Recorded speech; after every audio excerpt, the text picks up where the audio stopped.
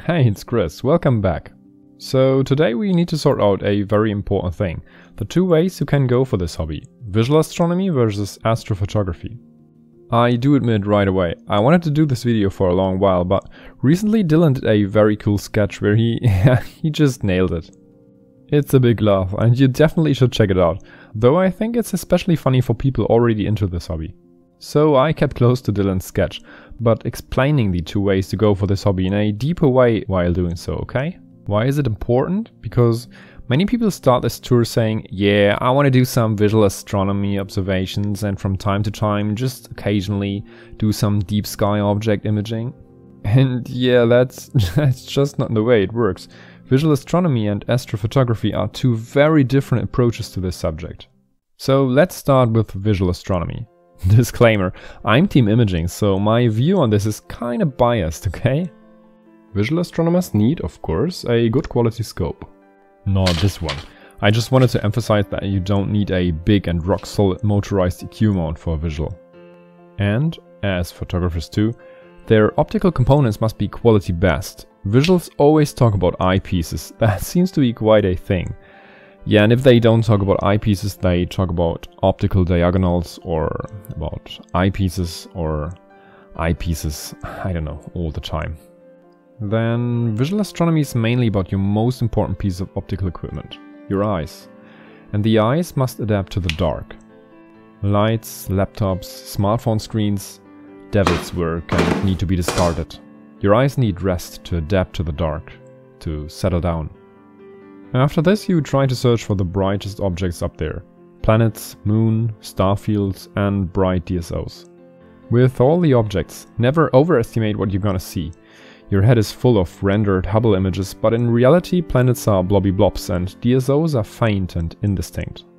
This is a Hubble image of the Orion Nebula. And this is what you might expect, faint nebulosity around a central core.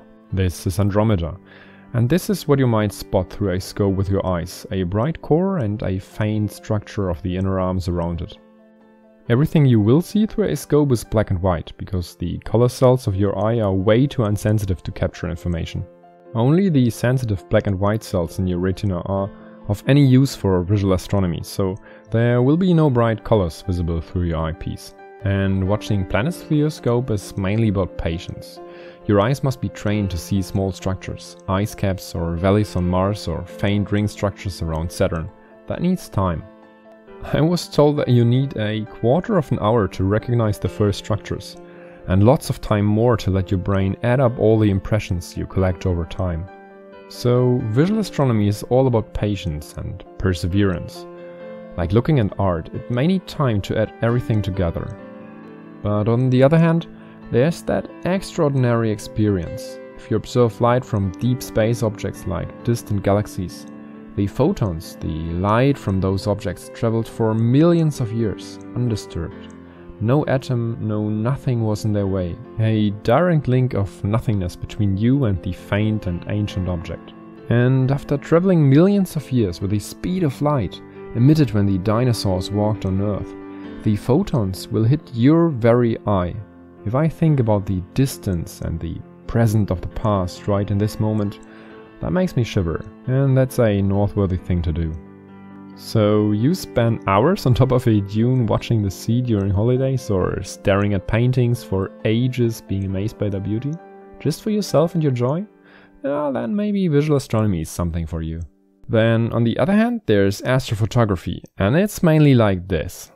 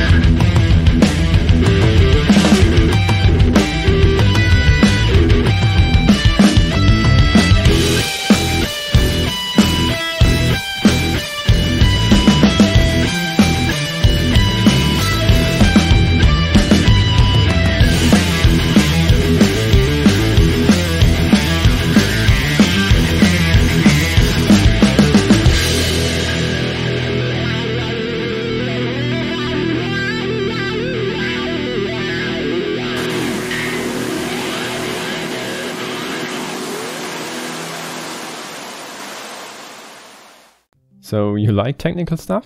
Or high precision working? Are you like me? First scope, first thing I did, hold my phone in front of the eyepiece in order to take an image, posting it to all my friends to share my excitement?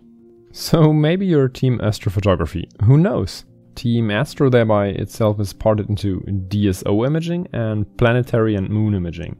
The techniques vary heavily, but we will cover that later on.